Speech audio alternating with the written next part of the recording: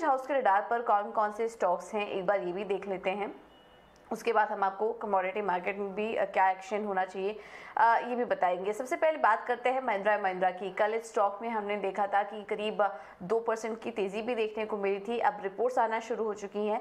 खरीदारी की राय देखी जा रही है बैंक ऑफ़ अमेरिका सिक्योरिटीज़ की तरफ़ से।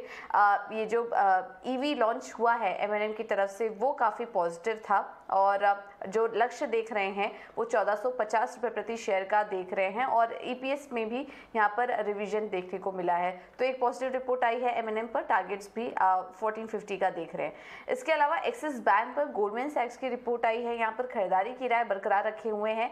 लक्ष्य देख रहे हैं नौ रुपए प्रति शेयर का और इनका कहना है कि आने वाले समय में नियर टू मीडियम टर्म में एक्सिस काफ़ी वेल पोजिशन नज़र आ रही है और इनके मार्जिन में भी काफ़ी एक मज़बूत प्रदर्शन देखने को मिल सकता है और लोन डिपॉजिट ग्रोथ भी काफ़ी बेहतर रहने का अनुमान यहाँ पर बताया जा रहा है। आर की भी फ्रंट पर प्रदर्शन काफ़ी अच्छा रह सकता है। ये एक रिपोर्ट आई है एक्सिस बैंक पर।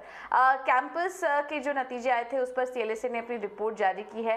टारगेट बढ़ा दिया है। चार रुपए प्रति शेयर के टारगेट से देख रहे हैं यहाँ पर और आउट परफॉर्म की जो राय है वो अपनी बरकरार रखी है। इनका कहना है कि आ, आ, पहली तिमाही में एक सीजनली मज़बूत क्वार्टर भी होता है कंपनी के लिए तो उसका एक काफ़ी अच्छा सपोर्ट भी मिला।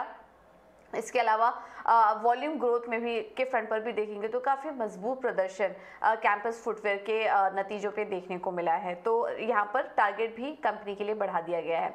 आखिर में बात करते हैं स्टील सेक्टर की। यहाँ पर सी ने अपनी रिपोर्ट जारी की है और इस पर टाटा स्टील पर अंडर परफॉर्म की राय देख रहे हैं। जेएसडब्ल्यू स्टील पर बिकवाली की राय दी है। वहीं जेएसपीएल पर ये आउट परफॉर्म की राय दे रहे हैं। तो ये कुछ कवरेज यहाँ पर आई है। इनका कहना है कि पिछले कुछ महीनों में स्टील के शेयरों में करीब 16 से 25 परसेंट की बढ़त भी देखने को मिली है। ओवरऑल इंडेक्स में आउट परफॉर्म किया है, लेकिन इस बीच जो इनको शेयर पसंद आ रहे हैं वो है जे इस पर आउट परफॉर्म किया है और टाटा स्टील और जे स्टील पर ये अंडर परफॉर्म और बिग वाली की राय दे रहे हैं। ये एक रिपोर्ट आई है स्टील सेक्टर पर तो इस पर आप नज़र रखिए। तो इसका भी आज असर इन कंपनियों पर देखने को मिल सकता है। तमाम खबरें ब्रोकरेज रिपोर्ट्स जो हमने आपके सामने रखी। लेकिन चलिए आगे आते हैं और